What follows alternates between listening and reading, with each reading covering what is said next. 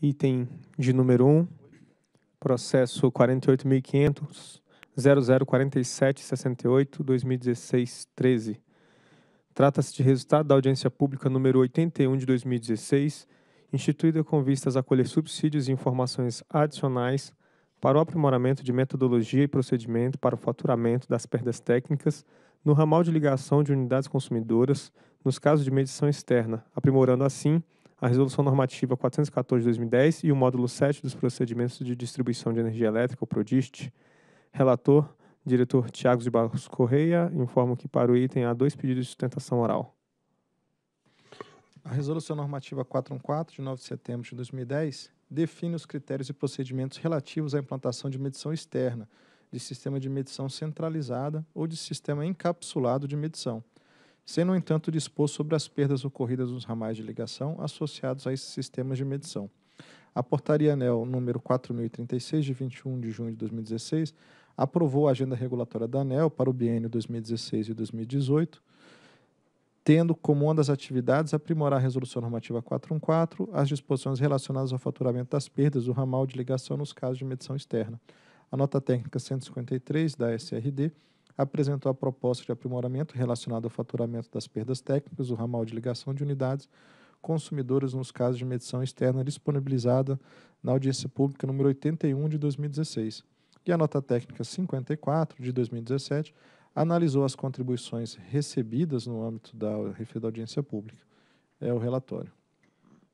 Convido o primeiro orador, o senhor José Gabino Matias dos Santos, que falará em nome da Associação Brasileira de Energia Elétrica, ABRAD. Bom dia. Bom dia aos presentes. O ponto que a gente gostaria de destacar aqui nessa oportunidade é, é um fato que tem acontecido também em, outros, em outras ocasiões, que é a introdução de uma alteração no cálculo das perdas dentro de um período tarifário. Né? Então, a preocupação das empresas, e a gente sabe que esse tipo de, de, de, situação ocorre com uma certa concentração em algumas empresas que têm um nível de perdas maiores, né? já que é tecnologia que é utilizada para combate das perdas comerciais, ah, na medida que se introduz essa alteração, vai aumentar as perdas da empresa e ela tem metas a serem cumpridas e tudo mais. Né? Então, o pleito que se faz aqui é que essas introduções, sempre que se houver uma introdução na metodologia de cálculo de perdas, que isso seja feito concatenado com a revisão tarefária das empresas para que ela possa incorporar essa nova realidade nas suas metas de trabalho, enfim. Então, esse é o ponto que a gente gostaria de destacar aqui hoje. Obrigado. Convido o segundo e último orador, o senhor Emerson Rubinho, representando a Enel Brasil SA. Bom, primeiramente, bom dia a todos. É, mais uma vez, obrigado pela uh, oportunidade. E uh, a gente gostaria de tecer alguns comentários sobre esse processo, a definição, e adianto, na verdade, o, a, o encaminhamento final do nosso, do nosso pedido, é, de fato, para que esse tema pudesse é, ser tratado no conjunto das discussões da revisão tarifária e eu pretendo, é, na apresentação, demonstrar por que eu acho adequado isso, porque nós estamos é, falando disso. Bom, é, nós aqui estamos para discutir a questão é, das perdas nos ramais no caso da medição externa. É, entendemos que o que nós estamos de fato tratando seria a alocação e entre os consumidores da melhor alocação daqueles componentes definidos no processo de revisão tarifária. Porque lá, ao avaliarmos o conjunto das perdas dos consumidores, ou melhor, o conjunto de perdas regulatórias eficientes que devem ser inseridas na tarifa, por ser um custo associado ao serviço de distribuição e, por isso, alocado ao consumo, à carga, é, já identificamos lá como apurar esse, esse, esse, esse componente, né? a perda técnica, a perda não técnica, sempre partindo do montante global apurado e medido, conforme uh, a, a, a, conformação daquele conjunto de medições, uh, seja utilizando aí a medição da entrada do sistema e a conformação dos medidores. Externalizado para aqueles que estão externalizados ou o convencional para os que são convencionais. Então, nós estamos tratando que, no global, as perdas definidas na revisão tarifária é, partem de um valor, um balanço energético real, medido e apurado corretamente. E, a partir dele, se definem as perdas regulatórias eficientes, que, é, para não me enganar e dizerem todas, podemos dizer, na grande maioria dos casos, a perda regulatória eficiente é ainda menor do que a perda global apurada da distribuidora. Então, aqui entendo que nós estamos tratando de um método ou de uma forma para redistribuir para os consumidores a questão da perda técnica referente ao ramal. E, e, e nisso tem alguns, algumas questões que acho que vale a pena a gente refletir. Aqui a gente trouxe o seguinte: as, no, no ter, na metodologia de cálculo de perdas técnicas, no terceiro ciclo de revisões, havia discriminação da perda técnica nos ramais. É, Utilizava-se parâmetros típicos, levantamentos típicos, era uma metodologia um pouco mais simplificada, mas você tinha essa segregação. Então, a gente pegando aqui é, essa distribuição para todas as distribuidoras que passaram lá pelo terceiro ciclo, a gente vê que a perda no ramal varia de um máximo de 0,6% a um mínimo de 0,05%, com uma média de 0,27%, o que também demonstra aqui alguma, algo que talvez não, vale, não, não tenha tempo de explorar, que é por que, que temos uma variação até relativamente grande para esse tema das perdas dos ramais. Mas ainda assim, se tomarmos simplesmente a média, ainda vamos ficar um parâmetro muito abaixo do 1,5 que estamos propondo para ser considerado a desconsiderar do faturamento do consumidor que tem a medição centralizada. Por quê? Estamos tratando do seguinte: se o global está correto, o que temos que fazer é, pode ser que, no caso da medição externalizada, um consumidor esteja pagando mais do que o outro. Então, aqui é uma questão, nos parece, de alocação entre esses consumidores. E aí o que eu estou, estamos tentando propor é: vou retirar um componente dessa tarifa, desse consumo, que é pode ser muito maior do que aquele que de fato foi considerado é, na sua composição. Bom, é, sem entrar muito nos méritos, até porque esse, de certa forma, é, foi enfrentado na análise é, das discussões da audiência pública, que é do montante desse dessas perdas dos ramais vis-à-vis os erros dos equipamentos é, de medição. Né? Estamos falando, então, de algo em torno de 0,3% ou até de 0,6%. Em alguns casos, talvez muito extremos, como foi apontado no próprio, na própria nota técnica, isso poderia chegar ao 1,5%. Mas, na sua imensa maioria, para a média ser tão mais baixa, é, é, a massa dessa discussão não, não, não estaria aí. Mas esse é um tema que, de fato, mostra um pouco quando a gente fala calcular a perda técnica de um determinado segmento, é, lá da, dos primórdios da, dos cálculos elétricos, a fórmula é simples. Né? A perda é proporcional à resistência e à corrente ao quadrado. Só que, de fato, quando passamos para calcular isso em sistemas de distribuição, vamos nos deparar com outros problemas. Né? Porque a resistência ela varia, varia com temperatura, varia com o tamanho do condutor, com uma série de outros efeitos. A corrente também ela não é constante ao longo do, do dia, ou dos meses, ou do ano. E o que nós temos sempre para cálculos de perda técnica, ainda que com algum grau de, com um grau de precisão bastante acurado, é uma estimativa. Como toda estimativa, está embutido aí questões de variabilidade. Bom, se o, o, poderiam partir para o pressuposto de que o mais preciso seria poder medir na ponta de um ramal e na outra ponta para saber qual é a perda efetiva daquele ramal. Mas aí entraríamos de novo no erro da questão da variabilidade metrológica daqueles equipamentos. Então, embora seja um cálculo de exatidão, se espera de exatidão, é intrínseco a esse processo uma variabilidade. Bom, aqui trouxemos alguns exemplos, para mais para dar o montante desse, desse tema. Mas, mais do que isso, é, é queríamos chamar a atenção do seguinte. Na metodologia do terceiro ciclo havia é, formas mais é, é, simples de se calcular e, mesmo assim, a perda do ramal era destacada. Na metodologia do quarto ciclo, que, por, uh, uh, uh, por conceito, ela é ainda mais precisa, no sentido de que tenta reproduzir as redes reais, tanto as redes de baixa tensão quanto os próprios condutores de ramais, utiliza-se dessa configuração, ainda assim há de se esperar uma certa variabilidade naquela condição.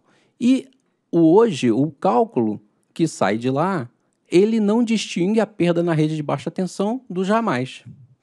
Não tem uma segmentação da perda técnica efetiva no ramal. Você pode calcular e até a regra que está prevista para cálculo, ela segue os mesmos princípios, tem o mesmo conceito, tem a mesma forma de fazer a apuração, mas como não é de um processo interativo, como o processo de cálculo de fluxo de potência, não necessariamente a gente consegue garantir que aquela fórmula está calculando um valor que é o valor que está saindo da metodologia de cálculo de perdas técnicas. Então, no fim, o que a gente está querendo dizer é: eu tenho uma metodologia para definir perdas técnicas que é um dos componentes para definir a perda regulatória eficiente. Ao fim, estamos aqui dizendo: olha, alguns consumidores, por terem a medição externalizada, precisam ter uma diferenciação em relação a outros na distribuição dessa perda técnica. Então, nesse sentido, nos parece que valeria a pena refletir se essa metodologia não deveria estar concatenada com a discussão regulatória da definição das perdas, assim como, naquele instante das revisões, poder definir, olha, um consumidor com medição externalizada tem essa paga essa perda técnica e o que não e o convencional paga essa outra perda técnica. E esse conjunto de de condições configuram as perdas regulatórias que, de fato, vão compor a receita de equilíbrio da concessionária. Porque, do caso contrário, a gente vai simplesmente, no meio do período, retirar recursos da concessionária, que, em tese, lá na revisão tarifária, tem uma definição eficiente daquele balanço energético de perdas. Por fim, é, e, e, e não menos importante, lembrar que a tarifa de distribuição, ela, por conceito, ela é um rateio geral dos custos de serviço de distribuição ao consumidor. E nós estamos aqui destacando uma parcela desse efeito. Ainda que pertinente à discussão, num, claro que é, é, ela tem a sua pertinência, só que é importante avaliar dentro desse conjunto do arcabouço da definição da estrutura tarifária. E com isso encerro e mais uma vez agradeço. Obrigado. Procuradoria. A Procuradoria analisou o resultado da audiência pública por meio da nota 21 de 2017, opinando pela juridicidade do ato normativo proposto. Então, a proposta disponibilizada na audiência pública 81, por meio da nota técnica 153 da SRD, propôs alterações na resolução normativa 414, no sentido de promover o comando regulatório para que as perdas dos ramais de ligação, no caso de medição centralizada, sejam descontadas na fatura do consumidor.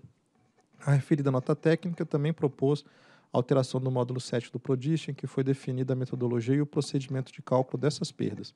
No formulário de análise de impacto regulatório foram avaliadas duas alternativas, sendo escolhida aquela que calcula o montante de perdas por meio da aplicação de método similar ao adotado pela ANEL no cálculo de perdas na distribuição regulamentado no módulo 7 do PRODIST alternativa mais detalhada. Essa proposta, cuja fórmula de cálculo apresenta a seguir, requer que a distribuidora disponha de algumas informações, essencialmente o comprimento do ramal, o tipo do cabo, o tipo de ligação à unidade consumidora, a tensão de fornecimento, a energia consumida no mês. Então, tem uma fórmula que aplica o cálculo da perda para cada um dos, do, dos consumidores que tiver a solução do ramal da medição externa. A proposta foi submetida à audiência pública número 81 e recebeu contribuições de 10 diferentes interessados e foram encaminhadas 28 contribuições, das quais 24% foram aceitas ou parcialmente aceitas. Vários agentes questionaram o motivo pelo qual a ANEL estaria propondo a definição de metodologia para descontar a fatura do consumidor as perdas ocorridas no ramais de ligação, no caso de sistema de medição externa, dado que o percentual de compensação das perdas é inferior ao erro metrológico do medidor. É fundamental entender que a medição de grandezas, como é o caso da energia elétrica, apresenta um erro denominado de erro experimental, que é a diferença entre o valor real e o medido. Esse erro é composto de duas parcelas, um erro sistemático e um erro aleatório. A classe de precisão do medidor está associada ao erro aleatório e não leva a, a viés no valor medido. O viés ocorre devido a um erro sistemático, o qual pode ser controlado através de calibração do instrumento.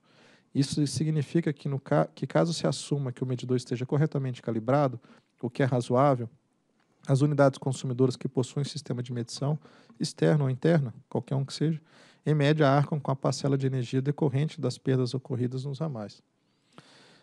É, uma metodologia pode ser feita com perdas ocorridas nos transformadores que atendem uma analogia pode ser feita com as perdas ocorridas nos transformadores, que atendem unidades consumidoras em tensão primária, com medição instalada no secundário do equipamento. Nesse caso, o regulamento prevê a cobrança pela distribuidora de percentual de 1 ou 2,5%, a depender do subgrupo a qual a unidade consumidora pertence. Assim, poder-se-ia defender que, devido ao fato das perdas nesse equipamento estarem dentro do erro metrológico, não haveria necessidade de ajuste na energia medida. No entanto, essas perdas são acrescidas nas faturas dessas unidades consumidoras essencialmente porque elas têm um viés. Então, na média, elas estariam distorcidas. Dessa forma, entende-se que a alegação de que o percentual a ser ajustado é pequeno ou menor do que o erro do medidor não é a justificativa aceitável para não se descontar a fatura dos consumidores as perdas ocorridas nos ramais de ligação. Algumas contribuições alegaram que o método proposto pela ANEL acarretaria custos para as empresas na adequação do sistema comercial, com a implantação de novas funcionalidades para o faturamento das perdas, além da necessidade de desenvolvimento de interface com outros sistemas para fins de obtenção de dados cadastrais das redes de distribuição. Também houve alegações de que a fórmula de cálculo proposta seria muito complexa e que algumas informações não estariam disponíveis nos cadastros das empresas. Como forma de evitar esses custos de adequação, algumas contribuições propuseram a adoção de um percentual de perdas fixos, definido para cada distribuidora do país ou para todas as empresas com base na perda média para esse tipo de sistema. Outras contribuições propuseram estabelecer um percentual de perdas a depender de algumas características do ramais, tá? como comprimento tensão de fornecimento. De fato, a fórmula do cálculo proposta originalmente pode requerer que sejam feitas algumas adequações no sistema comercial da distribuidora para sua implantação. No entanto, destaco que todas as informações necessárias para o cálculo das perdas são informações que a distribuidora deve dispor por força de regulamento. De posse desses dados, a fórmula de cálculo, ao contrário do alegado por alguns agentes, é tão simples quanto a aplicação de um percentual de perdas fixo. De toda forma, considerando as alegações de que a proposta teria custos para adequação do sistema de faturamento e de aplicação de um percentual fixo, seria mais simples, bem como levando em conta as perdas nos ramais de acordo com as simulações realizadas no âmbito da análise de impacto regulatório, podem ser de até 1,5%, propõe que a distribuidora possa optar. E aqui não é usar obrigatoriamente um e-mail, opta.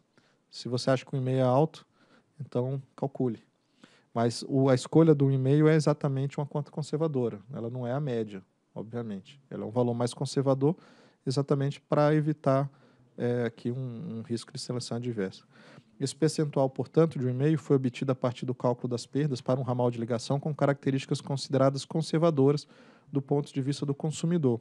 Para o cálculo desse percentual, foi considerada uma resistência de 3,75 ohms e um comprimento de 110 metros e o consumo mensal de 217 kWh mês, que é a ponderação entre o consumo médio das unidades consumidoras monofásicas, bifásicas e trifásicas das distribuidoras. Por fim, destaco que a contribuição para que as alterações previstas entre vigor a partir de 2018 foi acatada, uma vez que será necessário um período para adaptação das referidas propostas. É, em relação agora, acho que talvez ao comentário mais aprofundado da, da, da Enel, eu não entendo que haja uma, uma sobreposição entre o cálculo de perdas técnicas e o cálculo dessa perda de ramal para desconto da, da, da, fatura. Na verdade, a perda técnica é uma perda que ela é calculada e reconhecida regulatoriamente e é repassada para a tarifa. Então, ela é, é um reconhecimento de características técnicas de sistema que, portanto, são pagas por todos os usuários de, de distribuição. E essa conta ela é feita e rateada no pressuposto de que todos os usuários de distribuição têm um medidor na, sua, na, na, na entrada da sua unidade consumidora. Então, as perdas na rede, inclusive a do ramal, são de responsabilidade do agregado. E as perdas que são de responsabilidade individual são aquelas que ocorreriam dentro do sistema da unidade consumidora. Ao fazer uma opção comercial, comercial de se fazer uma medição centralizada, não se pode querer transferir as perdas do sistema de distribuição já calculadas e já consideradas para a unidade consumidora. Nesse caso, seria uma receita que estaria sendo recebida em dobro. Então, a, a perda ela já foi calculada, já foi considerada, claro que é uma simplificação, claro que é um modelo, e então ela estaria sendo cobrada de novo pela opção de se colocar um medidor é, mais distante da unidade residencial, a fatura seria maior do que se realizada na unidade consumidora. Então, esse ganho é que a gente está tentando tratar. Então, se opta por uma metodologia que também é simplificada, mas que busca é, retirar este viés e dizer que a, a opção por escolher o, o, a medição centralizada ou até mesmo a blindada é, claro, para uma política comercial de combate às perdas não técnicas. Não é para ganhar em recurso em perda técnica. Então, a perda técnica é tratada nas revisões e aqui o que se diz é o seguinte: você optou por botar um medidor longe, esse medidor tem que ser ajustado.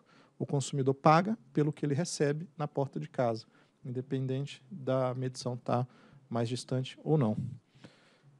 Então, diante do exposto, considerando que consta o processo 48.500.0047.68.2016, dígito 13, voto por aprovar a emissão da resolução normativa, conforme a minuta anexa, que aprova a alteração da resolução normativa 414, de 9 de setembro de 2010, e no módulo 7 do PRODIST, é o voto.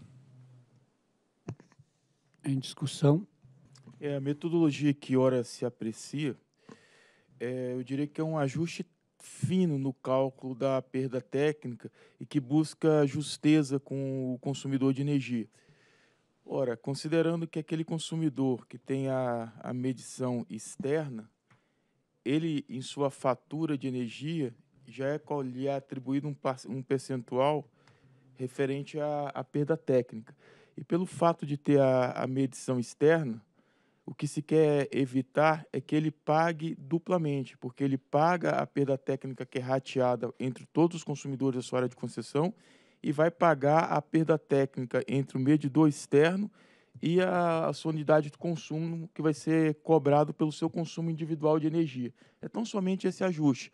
É um ajuste fino, tem uma fórmula que busca levar em consideração todas as características e de acordo com a com a nossa equipe técnica, chegou-se à conclusão que isso representava em seu valor máximo 1,5% da energia consumida.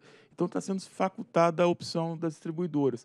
Ou aplica-se a fórmula se, se identifica o valor correto dessa perda, ou então, se ela achar que o processo de execução é muito custoso para a empresa, aplica-se o valor conservador até como disse o diretor Tiago, para se evitar a seleção adversa, né, aplica-se o valor máximo da perda, que é seu 1,5%. Então, somente isso, essa metodologia é um ajuste, e um ajuste que vem para melhorar e trazer a, ao consumidor a, a, sua situação real de consumo.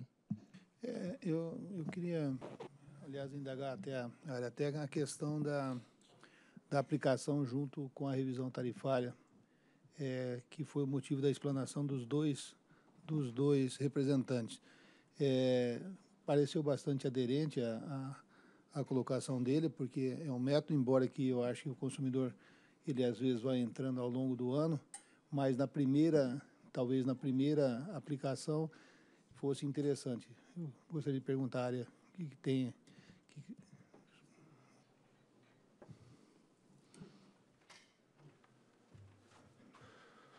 Bom, bom dia. É, de fato, isso faz sentido o que a Breta está falando, mas a gente entendeu que isso não era tão relevante pelo fato, primeiro, de que ela vai entrar em primeiro de 18. Então, muitas dessas empresas já estão acabando o ciclo de revisão dela. A gente só tem 18 a RGE e a Ampla. É, a Ampla não, a RGE e... Quem é a outra? Duas empresas apenas, acho que é a Ampla.